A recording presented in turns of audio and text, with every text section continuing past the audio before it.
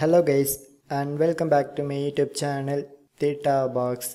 So today I get the following one error notification while I try to access the FIFA 23 via Epic Games launcher and it shows failure during update process and this message only comes from EA anti-cheat.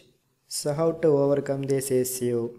So first of all force close this EA anti-cheat and other FIFA 23 related apps from your task manager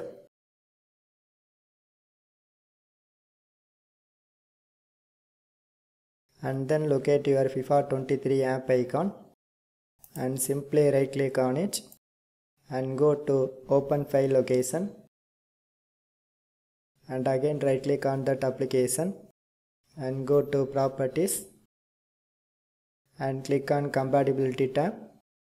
So here you can check it if all the options are disabled or not.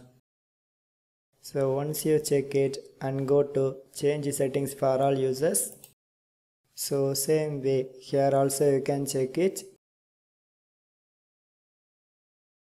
So once you done this i mentioned steps and go back to the program file section.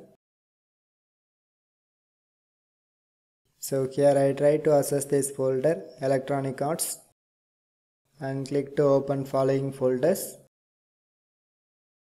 so same way you can check the compatibility settings for EA desktop file and EA launcher file.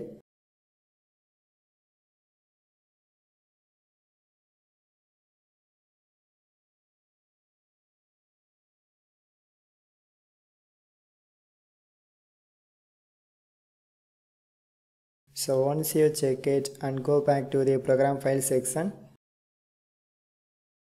so now this time I try to access EA folder and right click on this AC folder and go to properties.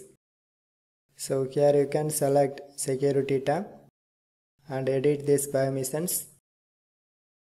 So here you can click to allow all the user permissions.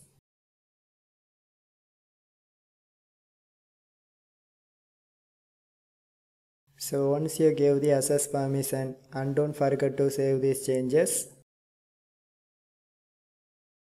and close all the windows. And finally one more time you can try to access your FIFA 23